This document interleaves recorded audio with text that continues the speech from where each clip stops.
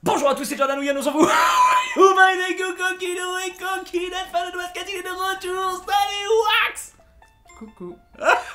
Pour fêter le retour de Wax, j'ai mis ma casquette à l'ancienne. Hello my name is what the fuck. Ne mettez jamais euh, votre casquette dans euh, la machine à laver. Parce qu'elle est complètement défoncée, malheureusement, vous voyez là tous les plis. Enfin, bref Il est le retour.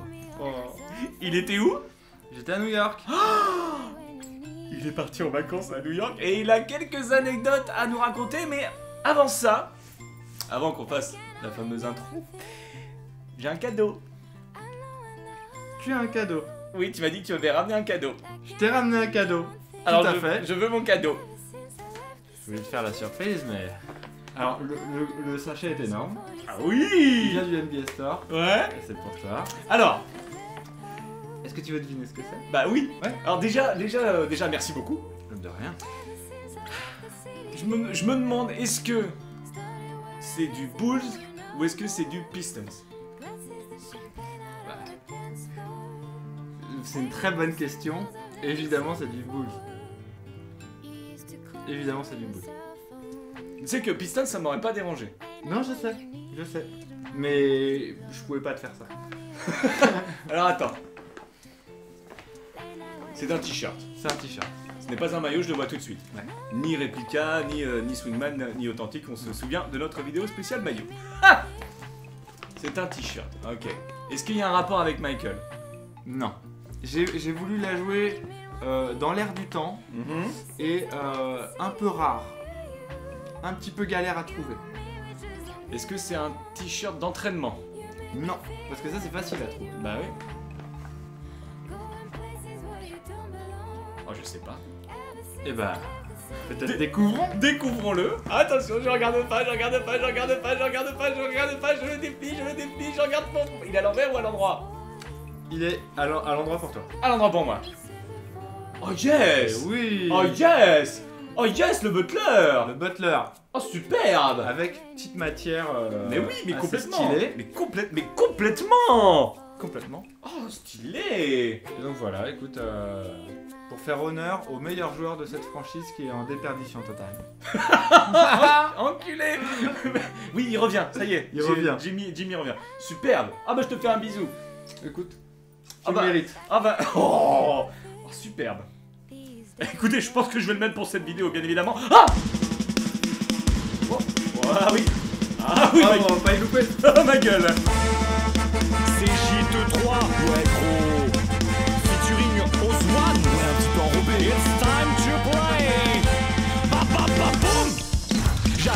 les lumières s'éteignent, un spot sur moi et la foule se lève. C'est J23 entre dans le game, les fans des joueurs se mordent les lèvres. Ma réputation n'est plus à faire, 3 ans je saigne tous les paniers. Je prends la peur, j'ai l'adversaire, même les James ne peut pas nier. J'ai le dribble, j'ai la passe, j'ai le shoot et le spectacle. Jalousie de ma classe, pour moi aucun obstacle. Démonstration en mode bien pépère, je me chauffe avec un petit de carrière et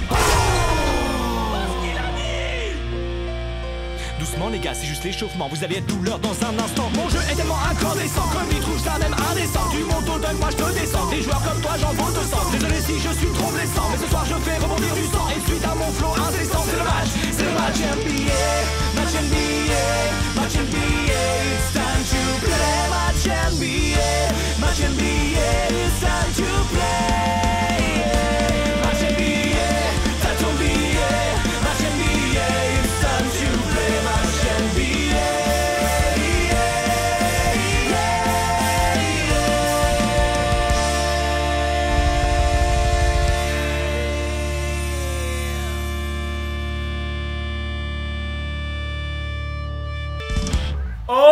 Qu'il me va bien Oh, qu'il me va bien Magnifique. Ah non, franchement, il est parfaitement taillé Il est sublime Donc voilà, mon joueur fait le robot. C'est assez Oh. stylé. Et vous le voyez, nous affrontons les Raptors, deuxième de cette conférence Est pour cette année. Euh, D'ailleurs, ils rattrapent, euh, ils rattrapent Cleveland. hein. Ils rattrapent Cleveland, ils sont juste à, à deux victoires euh, de différence. On leur a mis euh, le maillot qu'on aime beaucoup, hein, le maillot vraiment avec euh, le Raptors. On va affronter donc Kylori en défense, ça risque d'être compliqué. Et voire même si je passe en arrière, affronter Demar DeRozan, ça va être compliqué. Ouais, ouais, de toute façon, le backcourt il, il est exceptionnel là. Ouais, ouais, ouais. Donc, euh, il va falloir que tu sois un peu concentré. Bah, c'est ça, c'est ça le problème. Et surtout qu'en plus, Wax, alors, va nous donner, euh, va nous faire une petite, euh, enfin une très très bonne chronique. hein. c'est, il m'a, il m'a, il m'a teasé euh, juste avant qu'on, enregistre. je- J'en, sais pas plus. Il m'a dit, tu vois, c'est complètement what the fuck. Ouais. On fera ça certainement en, en En deuxième, deuxième mi-temps. Et donc là, on va, alors, on peut aussi parler. Euh, de ce qui se passe en ce moment en NBA, surtout en conférence Est, surtout euh, sur cette Au milieu de tableau euh, bah, c'est pas. euh, en- ouais, en milieu de tableau euh, et en bas de tableau pour les, pour les playoffs. Ouais, ouais. C'est malheureusement. Hop, je t'ai vu. Ah oui, je t'ai vu. Green. Oh, magnifique cette passe 2 sup- plus 1 qui fait bien Tout à fait. C'est cette huitième et neuvième place. Vous savez, hein, il n'y a que les huit premiers qui sont qualifiés euh, pour les playoffs. Et le problème, c'est que c'est les Pistons. Nouvelle veste, on en parlera après. C'est les Pistons et les Bulls Ouais. qui sont en train de se tirer la bourre. Malheureusement On s'y attendait vraiment pas du tout. Moi je savais que les Pistons seraient à la- à la- Oui. entre la 10ème et la 8ème place. Ouais, et moi je voyais les Bulls troisième. Voilà. Donc euh, moi aussi pareil, je les voyais en haut de tableau. Un peu comme tout. Et- Bah, ça, en ils- fait, de- tout le début d'année était comme ça. ça, ça a été ça. Ça a été ça. C'était pour moi la, la place qui, la place qui méritait. hein, en dessous de Toronto, en dessous de, de Cleveland. Même avec un bon Boston, je me disais allez au moins quatrième. Mais là, c'est la perdition totale, totale. Et ce qui nous fait vraiment chier, et ce que je, pense, ça vous fait vraiment chier aussi, c'est que attends, j'essaie de crosser l'oreille. Non, ça passe pas. Euh, c'est que à tous les coups, ça va être soit les Bulls, soit les Pistons qui vont, euh, qui vont payer le prix. Tu m'as vu à l'intérieur. Oh putain, Je suis désolé pour les fans d'Indiana, mais euh, Mais non, on chaque veut- match on espère qu'ils perdent. complètement parce que on veut voir les Bulls et les Pistons. Ouais. À la 8 et 7ème place. euh, Voilà. Alors, qui On- va tomber contre Cleveland? Parce que là pour le coup ça, ça sera la punition. Hein qu'on soit d'accord. euh, Oh, je l'avais Parce senti. que même si Toronto euh, font des, une très bonne saison, en playoff c'est toujours plus compliqué. hein. on, Ah oui, oui, c'est- on, oui, on repart toujours à zéro pour toutes les équipes, donc c'est là, c'est là où l'expérience euh, paye. Et bon, quant à LeBron et cette équipe de, de Cleveland qui est quand même assez expérimentée maintenant avec des finales, etc., on se doute qu'au premier tour ça va être euh, coton. Et il y aura peut-être un peu plus d'aventure entre le 2 et le 7ème. Ouais, complètement. Donc, euh, Ah, je coupe. Oh, ce ballon Ouh C'était. euh, jiggle, jiggle, jiggle, jiggle. Mais euh, ouais, c'est. Moi, franchement, j'ai peur. J'en pour moi, il y en a, il y en a, il y en a une des deux qui vont, euh, qui va, qui va pas passer. Et l'air de rien, honnêtement, alors même si je, même si je les supporte, hein, je, je vais pas dire que ce serait mérité. Bon, déjà l'infirmerie, elle est blindée. Ouais. L'infirmerie euh, aux Bulls, elle, elle- elle est blindée. Et euh, pourquoi, pourquoi je l'ai remis là? N'importe Puis quoi. même nouveau coach, euh, enfin tout a été. euh, Fred Hoiberg a un peu de mal. hein. Mais complètement. Complètement. Il est pas passé. Si, il est passé. Voilà, le petit pick and roll. Ça passe déjà trois passes décisives. On se souvient, hein, match d'avant, j'ai fait un, un triple-double assez, euh, assez sympathique. Match que j'ai regardé d'ailleurs. Ah, ça fait Match que j'ai plaisir. regardé et, euh, et je me disais, euh, waouh, je le déconcentre quand même beaucoup trop. Parce que euh, le mec est quand même très chaud quand je suis pas là.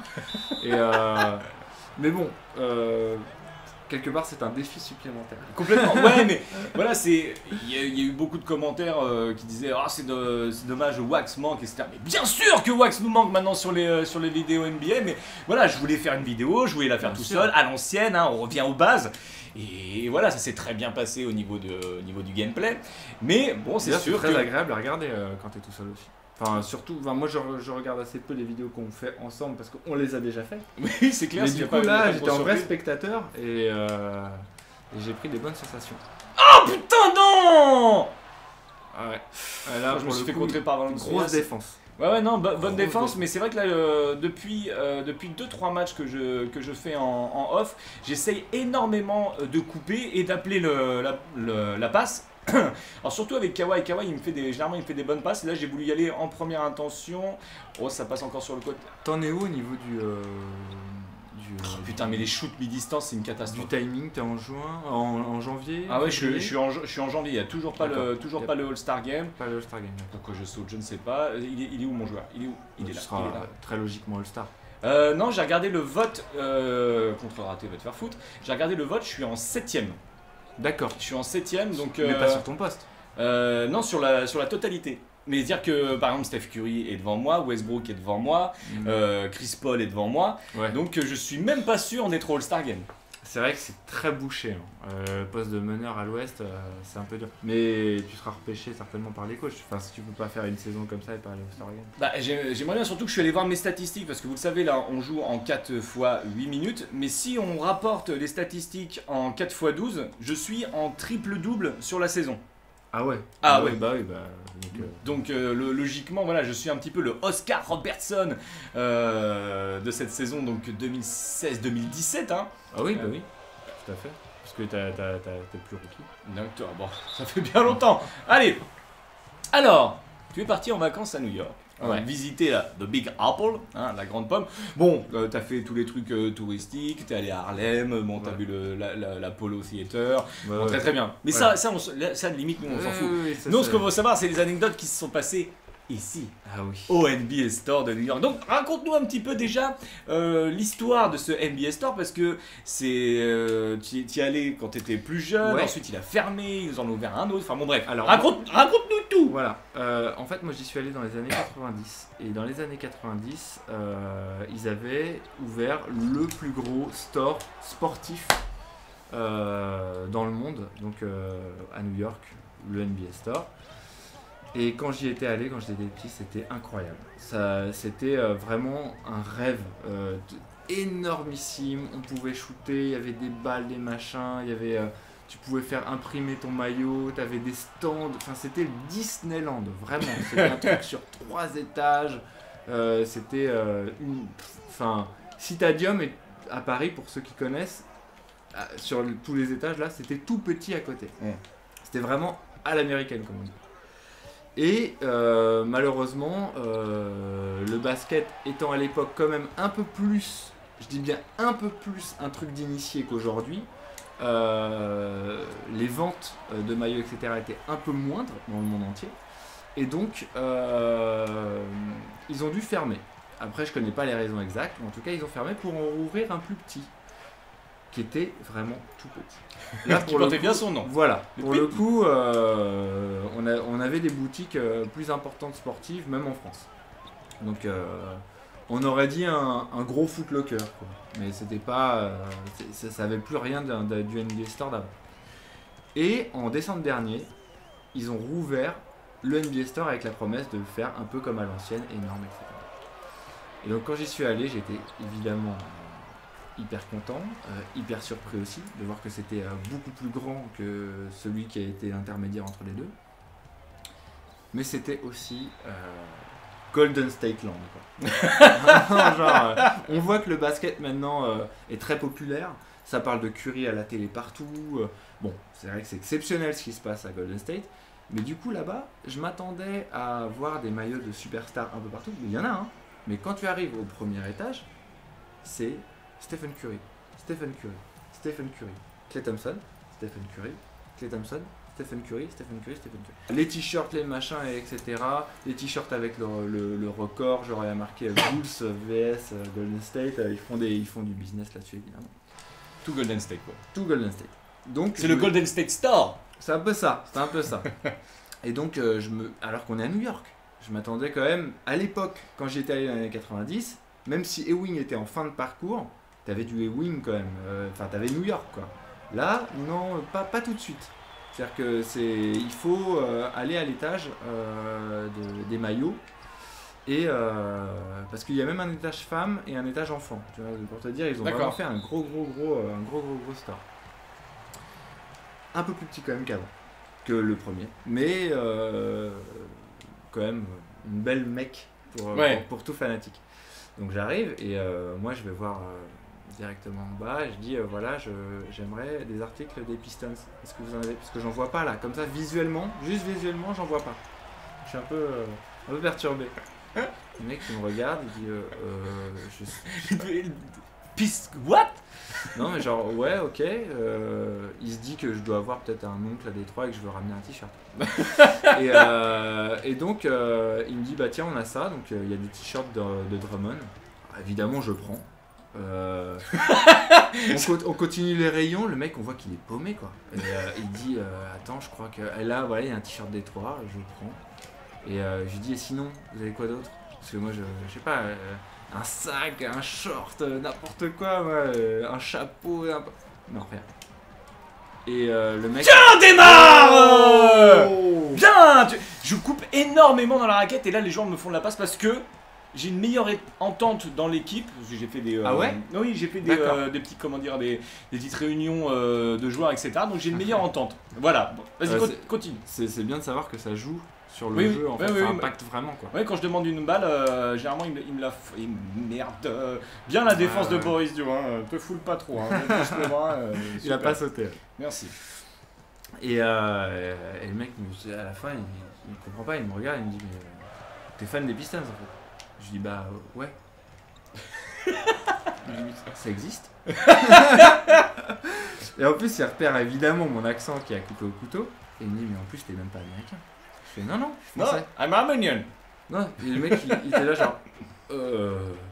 Enfin, voilà, c'était trop. C'était what the fuck Non, total. le, mec, le mec s'en est trop pris dans la tronche. Ah, t'es fan Ouais. des Pistons? D'accord. T'es français? Français t'es français et fan des Pistons? Ok. Donc euh, l'asile c'est à côté. Euh, et donc euh, je lui dis parce que ça j'avais vu euh, sur le site qu'ils en vendaient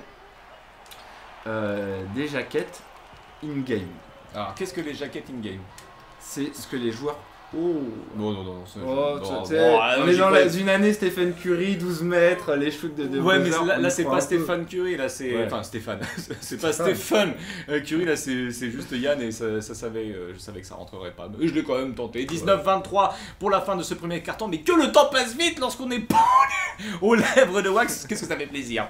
Alors on continue sur le NBA On Store. continue sur la NBA Store et donc euh, je lui dis voilà je veux une jaquette. C'est, c'est- en fait c'est ce que portent les joueurs qui sont euh, tu sais quand tu arrives dans la salle tu fais le- les shoots. Oui, oui, mais Et- ce qui fait mal, ouais, c'est le nom jaquette. Genre, euh, Ouais, parce qu'avec l'expression euh, t'es de la jaquette. Sûr. Qu'est-ce que c'est ça se, c'est dit, euh, ça se dit en anglais jacket. Jacket. Donc, euh, et euh, il me dit écoute euh, regarde euh, au rayon des, des jackets. et euh, et j'y vais et je regarde et je fais il y a, il y a beaucoup d'équipes mais euh, évidemment les équipes mainstream genre euh, Miami euh, tout ça toutes les équipes euh, on va dire un peu plus euh, hype euh, en termes de, euh, de de com Mais qu'est-ce que je suis con, excuse-moi. euh, et de je- résultats aussi surtout.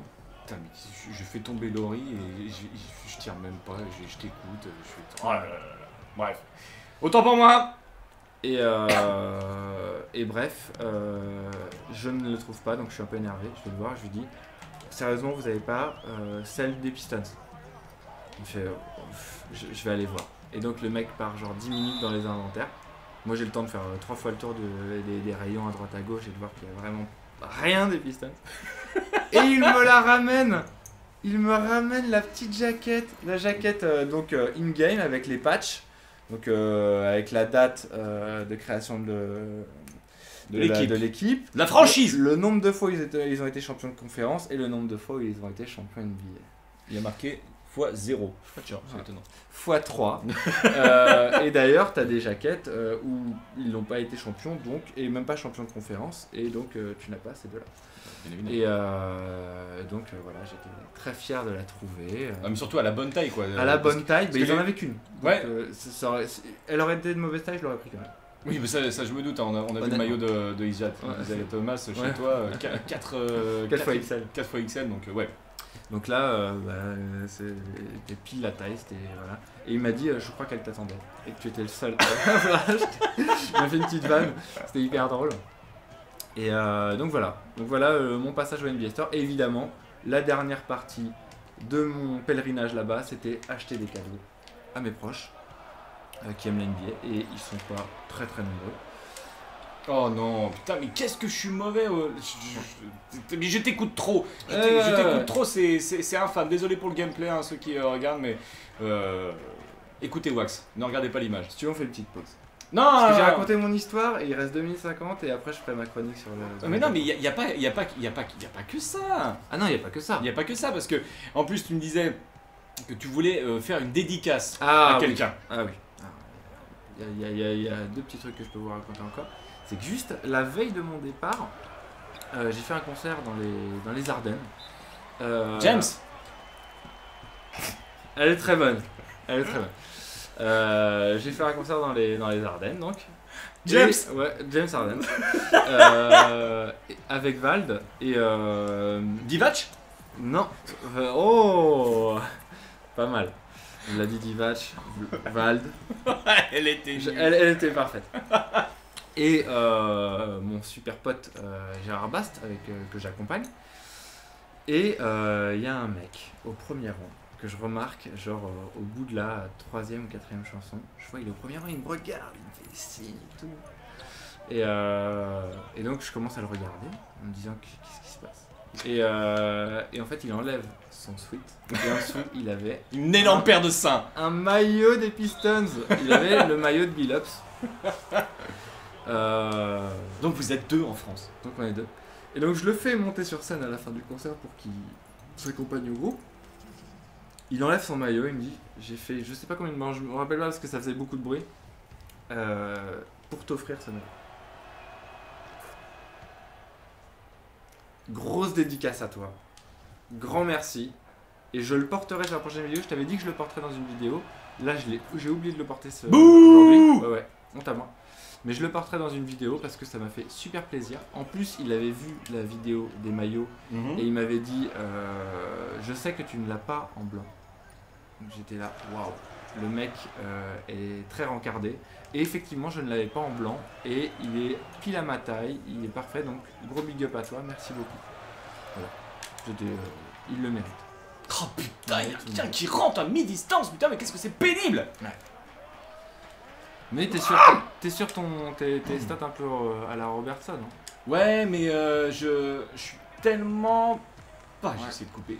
Tellement- je suis tellement poussif là-dedans. Oh, voilà, voilà, voilà, voilà. Putain. Voilà, ça c'est bien.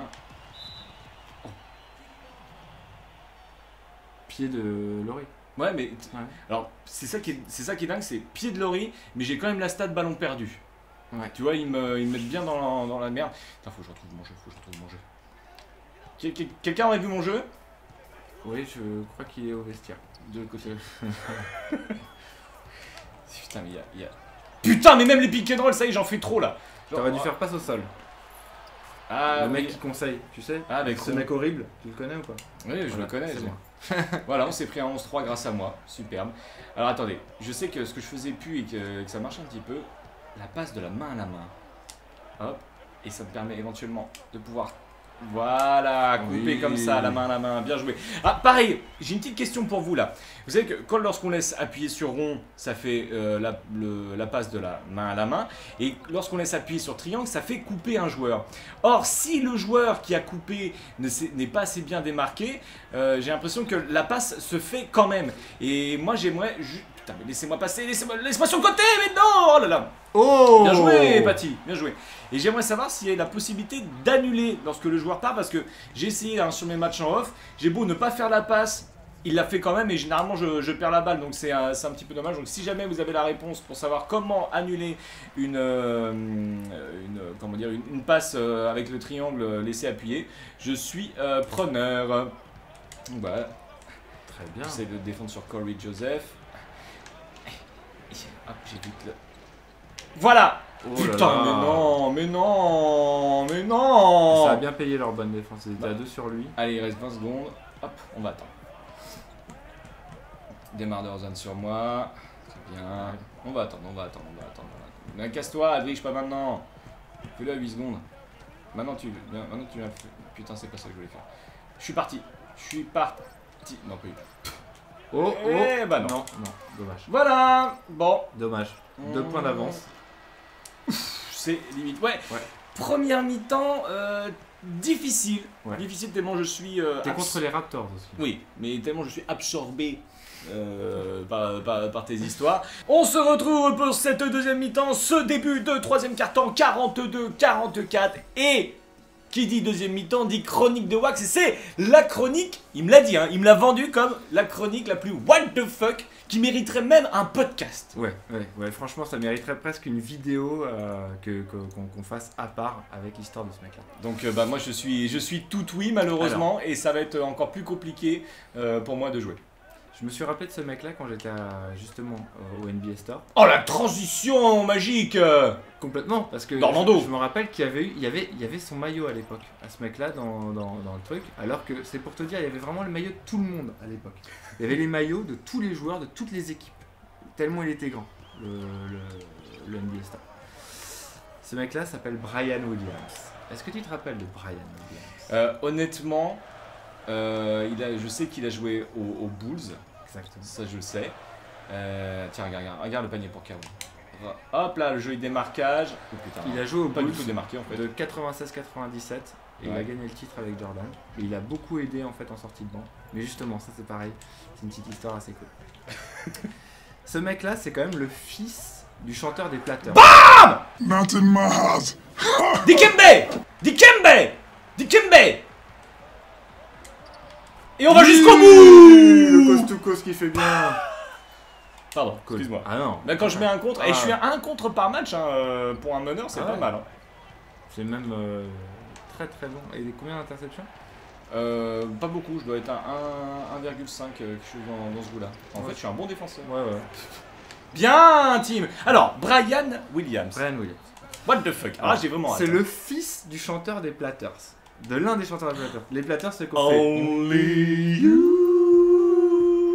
Hyper faux. Faudra qu'on le fasse avec de l'autotune à la PNL. Ça sera mortel. Faudra faire une reprise comme ça. Ça marcherait bien. And make all this world bright. Exactement. Et en fait, le mec est donc euh, fils d'artiste. Et tu vas voir que c'est ça l'a suivi mais toute sa carrière. Le mec est juste complètement timbré. Donc en fait, il joue à Maryland au collège. Au Marineland euh, d'Antibes? Non, à Maryland aux États-Unis. Ah, d'accord. C'est, euh, c'est autre chose.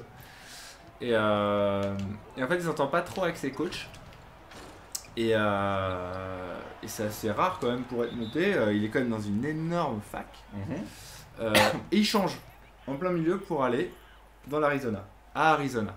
Un état dans lequel Arizona. MC Solar. Solar. Claude, si tu nous regardes. Si tu me regardes. Sûr que non, mais. et, euh, et bref, euh, il est drafté à la dixième position euh, par euh, Orlando en 91. Donc il ira jouer avec Shaq jusqu'en finale. Mais il jouera pas beaucoup. Et c'est quelqu'un qui est assez fou pour avoir de l'ambition et de la prétention un petit peu. Il dit comment ça je joue pas et tout. Alors que quand même c'est un, c'est un ailier fort, assez stock, et il joue à côté de Shaq. Donc euh, on peut comprendre qu'il joue pas beaucoup. Euh, ça- sachant que dans l'équipe il y a aussi Horace Grant, euh, il y, a- il y a du monde quoi. Et euh, donc après ça il fera un passage à Denver aux Clippers. Ça c'est un peu pour parler de lui euh, de manière simple. Tu vois là c'est pas what the Hmm. fuck. Non, bah là- là- est dans les trucs Là, simples. là- là, tu vois. limite, là, on commence Voilà. à s'emmerder. Hein. Voilà, on commence un peu à s'emmerder. en 96, euh, il y a son agent qui lui dit écoute, euh, tu me demandes beaucoup trop d'argent, euh, ce qui n'est pas une, une habitude à l'époque en plus pour les joueurs. Il dit euh, je... aucune équipe ne veut de toi quoi. Il dit bah je m'en fous. C'est quoi, je préfère pas jouer. C'est quand même rare, tu sais, le mec euh, il sort de son contrat rookie et tout quoi. Donc euh, bon, euh, il se passe mois de janvier, février, All-Star Game. Il a toujours pas d'équipe. Mars, pas d'équipe. Avril, il y a les Bulls qui l'appellent et qui disent bon, on va avoir besoin d'un peu de, de viande fraîche là parce qu'on est en back-to-back. Euh, donc on veut bien le prendre euh, avec un contrat pas énorme mais euh, Not in my house. et, euh, et il va jouer euh, avec Jordan, ce qui est quand même une promotion assez cool. Il accepte quand même. Mais il joue que 9 matchs dans la saison, donc les 9 derniers matchs. Ouais. Il a le titre et direct il dit je veux plus jouer là-bas. Maintenant je veux un gros contrat. Parce que, énorme parce que je suis quand même champion NBA. Parce que je suis champion NBA. Avec en plus, neuf voilà, matchs. J'ai du style. Euh, et ben c'est les Pistons qui vont lui faire une offre à Merde. 40 millions de dollars sur 5 ans. Plus gros contrat de l'histoire des Pistons à l'époque. C'est-à-dire que les Pistons n'avaient jamais autant craqué leur slip comme ça. C'est un truc de malade. Et euh, mais comment c'est possible? Avec un mec qui a, qui a aussi peu prouvé. Ouais, non mais il a, il a un titre et non il a, il a bien joué, il a fait des bons playoffs. Tu sais, c'est un peu les hypes de playoffs. Mais tu viens de dire les connais, 9 ceux-là Oui, mais 9 matchs. de saison. Mais après il a fait tous les playoffs. Ah, d'accord, ok. Ouais. Toi, tu m'as fait peur. Ouais mais même c'est quand même pas beaucoup pour faire un, le plus oui, gros oui, oui, oui. truc, c'est quand, même, quand même hyper bizarre quoi. Clairement. À ce moment-là, il sort avec Madonna. c'est le fils des Platters, le mec euh, pff, un ego comme ça. il sort avec Madonna. Il fait une première année chez les Pistons, superbe. Enfin, En tout cas, sa meilleure année. Il justifie quand même son contrat. Euh, plus de 15 points et je sais pas combien de rebonds, genre 9 ou 10, euh, presque en double-double. Euh, il apporte bien de la fraîcheur comme il faut. Et, c'est l'époque en plus où il y a Jerry Stackhouse, Grant Hill et tout. Il y a un petit déficit à l'intérieur et lui, il y va comme il faut. Seulement, il est fou, ce mec. Et il ne fait que s'embrouiller avec tout le monde. Genre le coaching staff et tout. Il leur fait des vannes. euh, genre, tu sais, des trucs de- d'enfants de, 6 ans, quoi. Et, euh, et en gros, un jour, c'était le premier à faire ça euh, à- comme ça. Euh, il a changé son nom. Du jour au lendemain, il arrive, il a dit Je m'appelle plus Brani. Vous m'appelez Bison. On t'appelle Bison, c'est-à-dire Euh, C'est-à-dire que j'ai changé en fait. Euh, je suis allé à Bref et tout. euh, j'ai changé. Maintenant, je m'appelle Bison Délé. Ils disent what? C'est-à-dire qu'en fait, c'est le plus gros contrat. On a commencé à mettre des, des- des maillots en vente et tout. Non, mais je m'en fous, moi. Moi, je m'appelle Bison Délé maintenant. bon, d'accord. Écoute, tu vas t'appeler Bison Délé, pas de soucis. Et pourquoi? Juste, on veut tout savoir. Il fait parce que c'est pour rendre hommage aux Indiens. Voilà. Ce qui est plutôt cool. Seulement, il rajoute à ça et mes origines africaines. Mais ça n'a rien à voir, mon pote. ça n'a rien à voir. Donc, euh, Malcolm X et tout ça, je comprends. Mais bison délai euh, pour les Africains, ça n'a aucun sens. Donc, euh, il mélange tout. Le mec est. Alors, je sais pas s'il a fait euh, des, Mais putain, mais non des trucs anti-drogue, mais en tout cas, il était bien attaqué. Donc, euh, en 99, il commence à faire sévèrement de la merde et il devient complètement fou.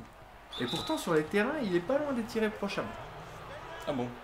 C'est-à-dire qu'il fait, il fait le taf. Mais c'est de la folie, mais pas de la folie méchante. Tu sais, c'est genre de la folie, genre. euh, genre. euh, les mecs font un temps mort et lui, il, il tire des lancers francs. Tiens, Des trucs. euh, tu sais, les gens disent, mais attends, il est. Bon, il est plus avec euh, Madonna. hein. à ce moment-là, il est.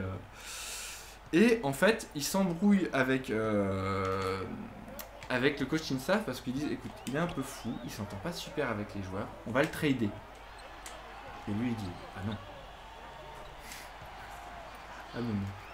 Moi on me traite pas. Donc votre argent, vous le gardez. Il rend 36 millions de dollars aux Pistons et il dit j'arrête le basket. Voilà. vous vouliez la guerre, vous l'avez. Voilà. Le mec change de nom dans l'année, rend son contrat au... et il dit j'ai pas besoin d'argent moi pour être heureux. Ce qui est super. Attention, le mec a des valeurs Oui, oui. et moi je le trouve plutôt cool au final. C'est en fait je le trouve mythique ce mec. Tu vois. Tu l'as trouvé sur Mythique? Non, je, non, je- il aurait pu, mais je vais t'expliquer pourquoi je ne l'ai pas trouvé sur Mythique. Je vais t'expliquer pourquoi tu ne peux pas le trouver. Il a encore plus de meufs que Lou Williams. Non. Et ce mec-là décide de quitter la NBA, de rendre 30 millions de dollars, d'apprendre le violon, le saxophone, et la trompette pour aller au Liban. Pas faire du basket, faire des visites. Donc il est avec sa trompette au Liban, il s'appelle Bison, euh, il a plus d'argent. Enfin, il en a de ses premiers contrats, mais c'est genre pas grand chose par rapport à ce qu'il aurait pu gagner. C'est pas, c'est pas- c'est pas possible. Après, il décide d'aller en Australie. Et à la fin, il dit Oh, mais non, en fait, ce que je veux, moi, c'est être capitaine de bateau. et donc, avec sa meuf, il s'achète un catamaran à Tahiti. Pourquoi pas? Et il l'appelle Hakuna Matata, son bateau. Le Hakuna Matata. Et c'est très important qu'il s'appelle le Hakuna Matata. Ah bon dans l'histoire. Ouais. Et donc, en fait, il rencontre un skipper qui s'appelle Bertrand. C'est à Tahiti et les mecs sont francophones. Et il dit à Bertrand Écoute, moi j'aimerais bien faire le tour du monde avec mon catamaran. Ouais, je fais Bah, Écoute, euh, on, on va commencer par faire un petit tour déjà. Et il y a son frère qui le rejoint à Tahiti. Et son frère, qui s'appelle donc euh, Kevin Williams, a aussi changé de nom. Et il s'appelle d'abord Miles d'abord. Il n'y a pas une lettre qui concorde. Je sais pas pourquoi. Le mec s'appelait, il avait un nom stylé, tu vois. Kevin Williams. Il dit ouais non, je préfère m'appeler Miles d'abord. Alors c'est pourquoi pas. Pourquoi pas On va l'appeler d'abord. On va l'appeler d'abord et Voilà. on verra ensuite. Exact. Oh, ouais. Merci. Voilà. Donc d'abord, Bertrand, Bison sont sur un bateau. Ils s'en vont le 6 juillet 2002 avec le Hakuna Matata. C'est pas possible. si. Et il y a Selena dans le bateau aussi qui est la meuf de Bison. Donc donc, il y a Bison, d'abord, Bertrand et Selena. Ils s'en vont en bateau le 6 juillet 2002. Seulement, le bateau revient alors, est aperçu par des gens le 20 juillet 2002. Mais il n'y a plus que d'abord dedans. Il n'y a, plus que d'abord à bord. Il n'y a plus que d'abord à bord. D'accord. Oui, très bien. et, euh, et donc, euh, il se passe pas mal de temps, c'est-à-dire deux mois, pendant lesquels personne ne sait où est Bison et tous ses copains. Et donc, à un moment, la famille de Bison a fait Oh là là, notre fils est fou, mais quand même, il nous a pas donné de nouvelles depuis deux mois. Donc, ils sa famille habite à Phoenix. Ils appellent les autorités de Tahiti et disent euh, On aimerait bien savoir où est notre fils. Ils disent Ah bah, nous on sait pas, hein. mais si vous voulez, on peut chercher. Donc, tout le monde commence à chercher. Où il est Bison Est-ce que t'es là, Bison Et puis, on se rend compte que Bertrand, le skipper, n'est plus là non plus. Hé Bertrand, où es-tu? Et donc, il recherche un peu partout. Et en fait, aucune trace de personne. Il retrouve le bateau, le Hakuna Matata. Il le retrouve échoué sur une plage avec des, des cribles de balles. Ils ont enlevé le nom Hakuna Matata, euh, genre À l'arrache. à l'arrache complet, et personne à bord. Mais le dernier qui a été vu sur le bateau, c'est d'abord le frère de Bison. Et donc on se dit, bah d'abord, il doit savoir la vérité. Donc on commence à faire des recherches sur d'abord. Et là, c'est le FBI et la police française qui s'occupent du, du cas de, de d'abord pour le retrouver. On apprend qu'il a acheté 150 000 dollars d'or. Le mec est un pirate. oh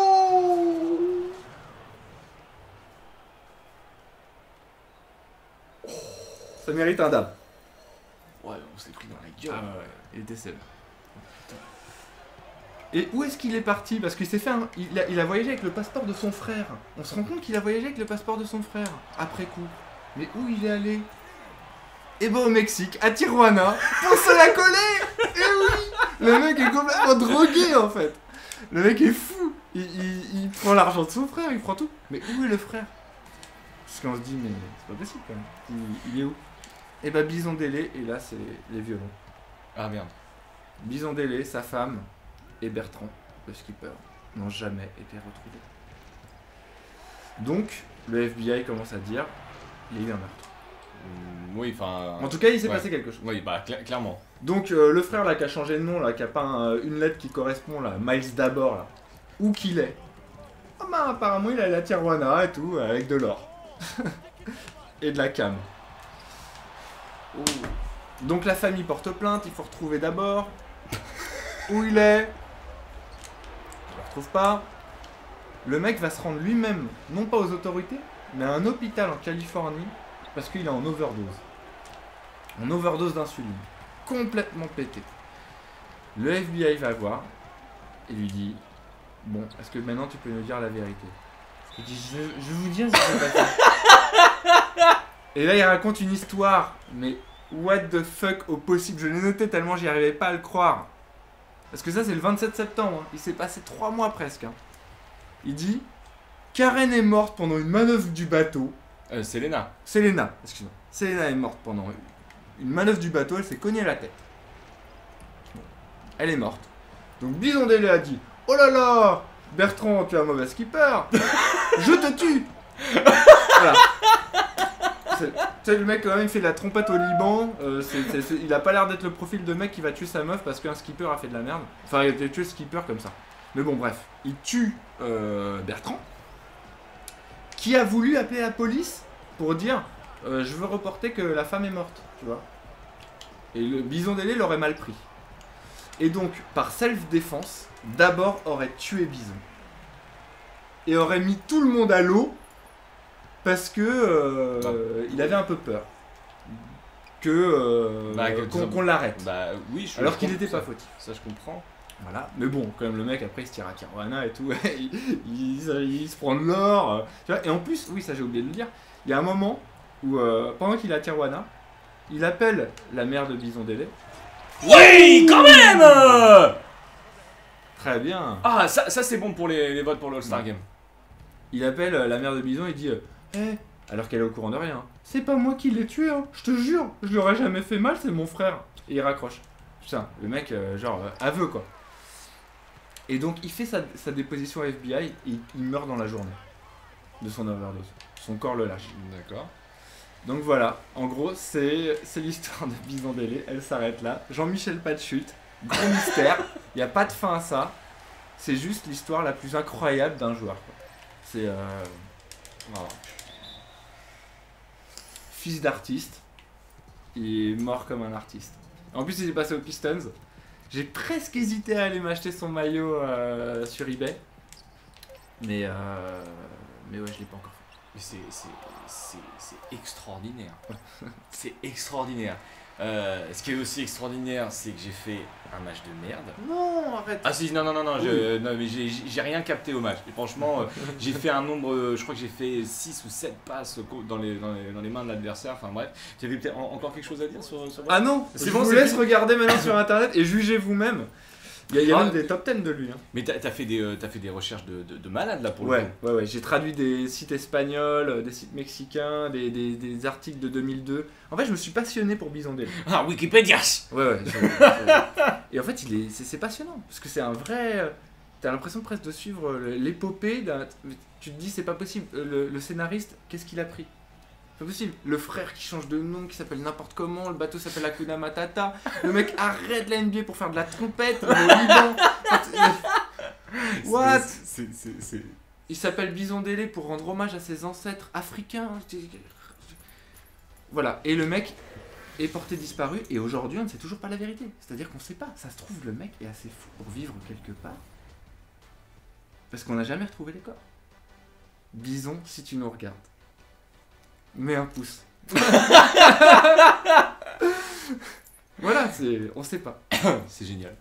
C'est génial. Et effectivement, c'était la chronique la plus what the fuck qu'on ait, euh, ait jamais eue euh, sur, euh, sur une vidéo NBA. Je, je pense pas qu'on ira. euh, Further. ah non, euh, plus haut que ça, ce n'est, pas possible. Ben non, je, je- enfin moi j'étais moi-même ch- choqué à chaque fois que je lisais des trucs de voir cette histoire. Non, Il faut en faire un film. Non mais clairement. Mais là, ah ouais, un, un film, euh, mais franchement, pour relancer la carrière d'Eddie Murphy. Mais ouais, Voilà, il joue Bison. voilà. Il, joue- il joue, joue Ou le Bison. frère de Bison. Ou d'abord. Ouais, peut-être Ouais, qu'il va jouer d'abord. Le héros c'est un peu d'abord quand même. Bon voilà les coquines et coquinettes, j'espère vraiment que cette vidéo vous aura plu, surtout pour les anecdotes de Wax, parce que moi le, le match là j'ai rien capté, hein, vous l'avez bien vu la différence quand même avec le match d'avant. Enfin, je vous promets la prochaine fois je le fais pas chier. Euh, je- J'essaierai de me faire un peu plus petit. Là, C'était juste cette histoire. Non non mais non c'était mais non mais non c'était c'était vraiment c'était vraiment génial. En tout cas, je vous fais des poutou poutou les coquines et coquinettes, c'était Yann au journal, on s'en fout. How are you? Fine thank you et on était avec Wax. Salut.